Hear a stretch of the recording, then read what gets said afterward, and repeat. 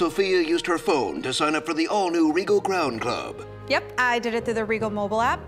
Simple. And I thought phones were just for taking pictures of yourself. Huh?